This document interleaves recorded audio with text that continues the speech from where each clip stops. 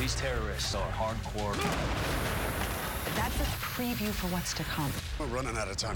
A new SWAT next Friday on CBS. Don't miss out on TV's top new series. Over here.